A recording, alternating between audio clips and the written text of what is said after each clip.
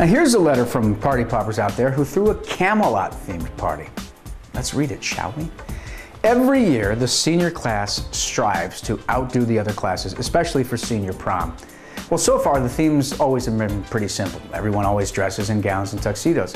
But my class definitely outdid last year's prom.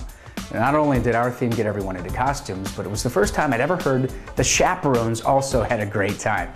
The senior class voted for a Camelot theme for the prom.